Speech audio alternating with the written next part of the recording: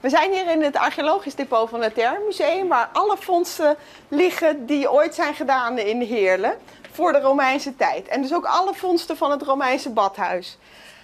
Ja, en dit is dan bijvoorbeeld één van de 10.000 stuks vondstmateriaal uh, van het badhuis. En we hopen dat door bestudering van dit soort fondsmateriaal we veel meer te weten komen over de datering van het huis, badhuis, wanneer is het gebouwd, tot hoe lang is het in gebruik geweest en met welke functies allemaal.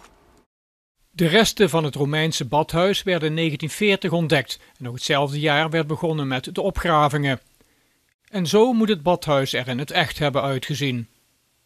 Uh, tot nu toe werd aangenomen dat het badhuis van eind eerste eeuw uh, dateert en dan ongeveer tot in de derde eeuw in gebruik is. Maar er zijn heel veel aanwijzingen dat het wellicht veel vroeger is, misschien al 50 na Christus. En dat het toch echt veel langer in gebruik is geweest tot de vierde, misschien zelfs wel de vijfde eeuw. Nou ja, dan is het Romeinse badhuis misschien wel het oudste gebouwde gebouw, dus hè, met stenen, dakpan van heel Nederland. En dat zou absoluut uniek zijn. De komende drie jaar wordt onderzocht of het Romeinse badhuis in Heerlen inderdaad het oudste gebouw van Nederland is. Het onderzoek, dat enkele miljoenen gaat kosten, wordt gedeeltelijk betaald door de gemeente Heerlen voor wie het project van groot belang is. Ontzettend belangrijk. Eh, we hebben hier te maken met eh, een van de best bewaarde en oudste badgebouwen in Nederland en misschien wel in Noordwest-Europa.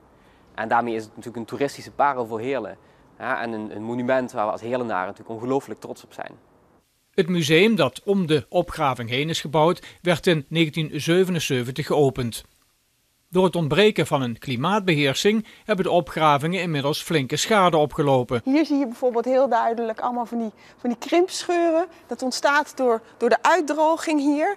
En daar op het hoekje zie je dan bijvoorbeeld heel goed dat, hoe dat Romeinse beton helemaal aan het uitdrogen is, aan het verkrummelen is. Als je hier dan weer verder kijkt, dan zie je op de grond hier uh, Romeins pleisterwerk liggen. Dit zat op de muren ooit en dat is er allemaal afgekomen omdat het letterlijk niet meer plakt. Het is uitgedroogd en dan wordt het eigenlijk helemaal los. Die schade moet echt nu gestopt worden. Uh, nou, het gebouw waar we hier nu staan uh, is een jaar of 40 oud en is in heel veel opzichten echt gedateerd. En we willen graag zeg maar dit monument als ambassadeur hebben voor het verhaal van Heerlen. En daar hoort een kwalitatief goede gebouw bij. Ja, nu kun je eigenlijk dus alleen maar het badhuis bekijken vanaf de loopbrug of vanaf de omloop. En dat is eigenlijk heel ver weg. En er zijn zoveel prachtige dingen te zien in het badhuis. Hier staan we vlakbij het koudwaterplonsbad, hè, waar, waar je vanuit de warme ruimte dan even ging affrissen, net zoals vandaag de dag in de, in de sauna. En ik zou heel graag willen dat, dat bezoekers veel dichterbij zo de ruimte kunnen komen, omdat je dan ook veel meer beleeft wat een fantastisch gebouw het is.